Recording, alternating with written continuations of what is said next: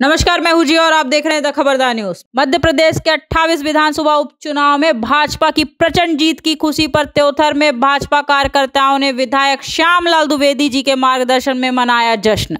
Bharatiya Janata party जिंदाबाद, शिवराज सिंह चौहान जिंदाबाद के नारे लगाए गए। वहीं विधायक ने विपक्ष पर निशाना साधते हुए बताया कि कमलनाथ की सरकार ने प्रदेशवासियों से झूठ बोलकर सरकार बनाया था, लेकिन आज जनता ने फिर उपचुनाव में भाजपा को प्रचंड वोटों से जीत दिलाकर ये साबित कर दिया है कि अधर्म पर धर्म की विजय हमेशा होती है और आज मध्य प्रदेश में वही हुआ है। विधायक के साथ कार्यक्रम में कौशलेश तिवारी तिवारी लाल, अशोक तिवारी, राजनारायण तिवारी, राजेंद्र गौतम, सुशील चंद्र शुक्ला, शिवाकांत शुक्ला, राजेश यादव, अरविंद शुक्ला, पवन सिंह, अनुपम तिवारी पुष्पेंद्र त्रिपाठी के साथ कई कार्यकर्ता रहे उपस्थित। रीवा त्योथर से आशुतोष शुक्ला की यह रिपोर्ट। बने रही है द खबरदार न्यूज़ के साथ। नमस्कार।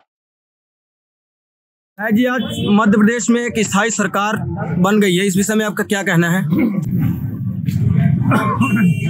देखिए, मध्य प्रदेश में जो ये अट्ठाईस सीटों का निर्वाचन था, वहाँ चुनाव 28 सीट की जनता नहीं लड़ रही थी। पूरे मध्य प्रदेश की जनता उस चुनाव को लड़ा हमारा एक एक कार्यकर्ता लड़ा हमारे हर मतदान का मतदान केंद्र अध्यक्ष लड़ा और इन कार्यकर्ताओं ने जनता का आशीर्वाद प्राप्त करके अधर्म के विरुद्ध धर्म की असत्य के विरुद्ध सत्य की अन्याय के विरुद्ध न्याय का ये शंखनाद हुआ है। सरकार के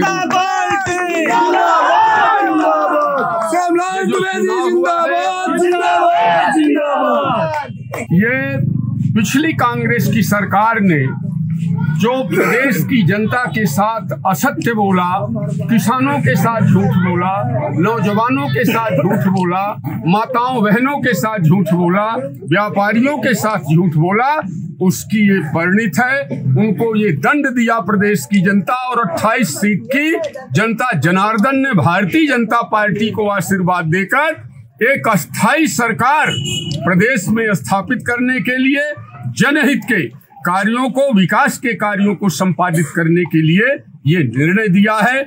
उसका मैं जनता जनार्दन के प्रति हृदय से कृतज्ञता ज्ञापित करते हुए माननीय मुख्यमंत्री शिवराज सिंह के नेतृत्व में माननीय मोदी प्रधानमंत्री के आशीर्वाद से ये विजय हमको हासिल नरेंद्र मोदी!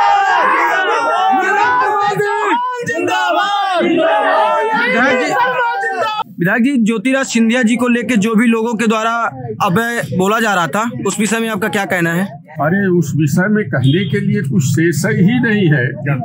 आदरणीय ज्योतिरादित्य सिंधिया ने देश की एकता और अखंडता के लिए, प्रदेश की जनता के विकास के लिए, चतुर्मुखी विकास के लिए ये जो फैसला लिया, वो स्वागत योग्य है और जनता ने उन्हें आशीर्वाद दिया है। कहने के लिए कुछ शेष नहीं, वो भारतीय जनता पार्टी के हमारे वरिष्ठ नेता हैं और उनके नेतृत्व में, उनके मार्गदर्शन में जो 28 सीट में चुनाव लड़ा, उन्होंने मेहनत किया, उसकी सफलता हमारे सामने।